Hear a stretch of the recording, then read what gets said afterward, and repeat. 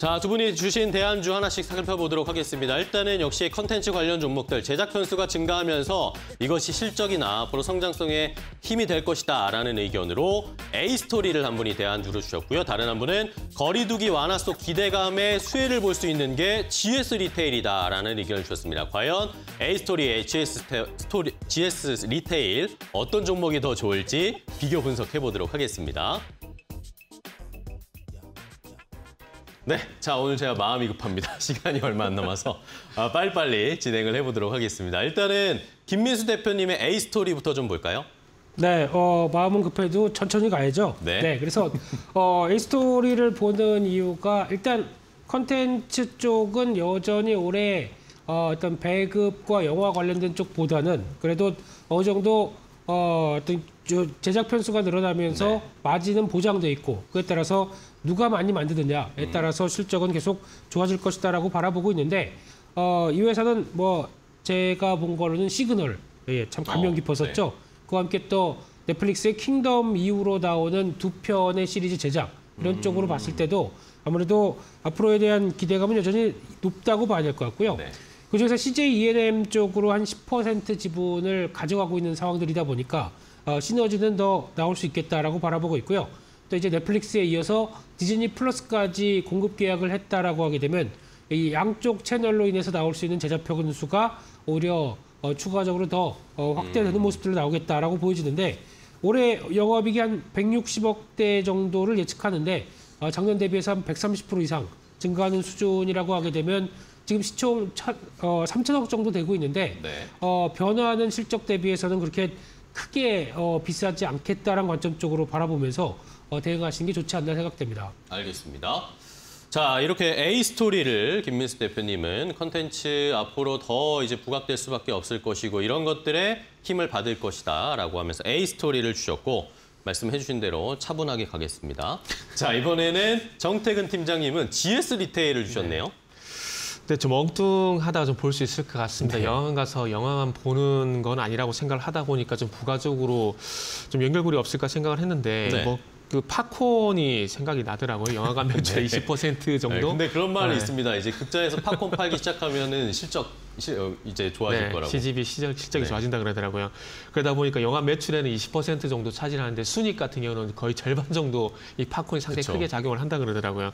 그래서 이 팝콘을 공급하는 회사가 어딜까라고 계속 파보다 보니까 그 대한푸드텍이라는 회사가 나오던데 이 회사가 1998년부터 이제 CGV랑 메가박스를 통해서 팝콘을 이제 공급을 하고 있더라고요. 어, 네. 그래서 이 대한푸드텍 대한 푸드텍과 유통이라든지 어떤 그 식음료 연결되는 부분이 없을까라고 이제 파봤는데 솔직히 없더라고요. 그런데 지금 더 프레시 GS 더 프레시가 그 대한 푸드텍에서 생산하고 있는 버터맛 팝콘을 현재 판매를 하고 있더라고요. 어. 그래서 이 또 어, GS 더 프레시 같은 경우는 또 GS 리테일이 운영하고 있는 어, 슈퍼마켓 브랜드입니다. 그래서 지금 이 화면에 있는 이 제품인데 이게 근데 그 엄마들 그 블로그를 통해서 보게 되면 이게 상당히 이게 블로그 많이 올라오더라고요. 상당히 아, 많이? 이용을 하나 보더라고요. 그래가지고 이게 요새 아시겠지만은 이 코로나 때문에 집에서 OTT라든지 이런 부분을 많이 보게 되면서 아마 이런 어, 것, 이런 상품들이 좀 음. 많이 팔려 나간 것 같습니다. 그래서 이 팝콘과 연관된 정보를 좀 찾다 보니까 엉뚱하게도 GS 리테일이 좀 나왔는데 어쨌든 거리두기 완화가 되게 되면은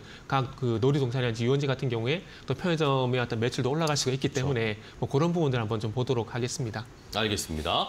자, GS 리테일을 정태근 팀장은 대안주로 주시면서 팝콘의 연결고리를 어, 올라가고 올라가다 보니까 GS 리테일이 걸렸습니다. 이러면서 의견을 주셨습니다. 좋습니다.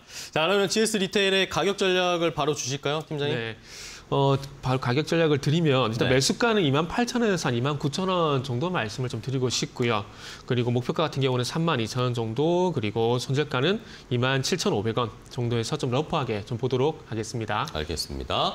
자, 최근에 일단은 뭐 바닥 잡고 다시 올라오는 듯한 양상인데 GS 리테일의 가격 전략 주셨고요. 자, 김민수 대표님의 A 스토리도 보겠습니다. 네, 어, 최근에 동향을 보게 되면 한때 어, 주가가 많이 갔다가 네. 어, 지금 주봉인데요. 어, 어느 정도 박스권의 하단부는 지지하고 반등 시도한다라는 쪽에서 어, 추가적인 매수세에 대한 변화 좀 더 타진할 수 있을 것 같고요. 그런 쪽에서 어, 일봉의 패턴을 보게 되면 어, 지지권은 충분히 지지받고 움직인다라는 쪽에서 한 32,000원대 밑에서 대응 전략은 나쁘지 않겠다라고 바라보고 네. 있고요. 목표가는 1차로 지난 고점대가 나와 있는 한 39,000원대 부근 정도를 1차로 바라보고 있고요. 손절가는 29,000원대로 말씀드리겠습니다. 알겠습니다.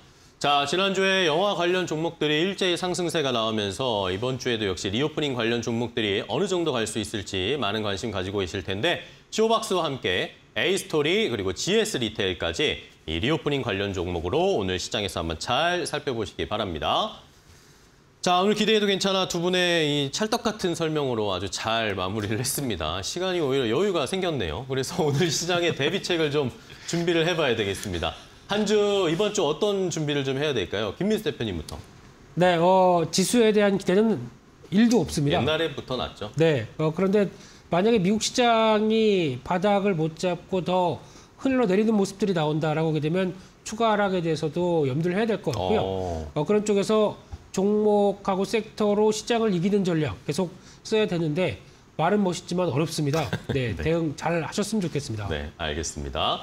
자, 역시 뭐 지수 시장에 대응하는 것보다 종목별로 업종별로 좀 대응을 하는 게 좋겠다. 여기에서 수익을 얻자라는 의견이셨고 정태근 팀장님은 네, 저도 마찬가지입니다. 아시다시피 뭐 코스피가 지금 지난 박스권이 진행되고 있는 상황이기 때문에 네. 뭐 하반기나 돼야 좀 분위기가 좀 반전되지 않을까 생각이 들고 지금은 어쩔 수 없이 중소형주 중심의 뭐 개별주 아, 종목 대응을 좀 해야 될 것 같습니다. 그래서 아시겠지만은 최근에 뭐 새롭게 또 카메라 모듈 관련주가 좀 강세를 보이고 그리고 또 기존 reopening reopening 관련주라든지 그리고 이제 뭐 정책 관련주라든지 우크라이나 테마 이쪽으로 일단 보시다가 시장에 좀 변화가 생기면 그때 액션을 하셔도 늦지 않을 것 같다라는 말씀 드리도록 하겠습니다. 알겠습니다. 자, 결국에는 시장이 좀 지지부진한 상황이어서 우리가 좀 움직일 수 있고요. 정책이나 이런 테마를 받을 수 있는 종목들을 잘 선별하는 방법밖에는 최근에 뭐 대안을 안 주시니까 저희도 거기에 따라서 이번 주 한번 잘 준비해 보도록 하겠습니다. 자, 오늘 두 분 너무 조- 감사하고요. 다음 시간에 또 뵙도록 하겠습니다. 고생 많으셨습니다. 고맙습니다. 감사합니다. 감사합니다.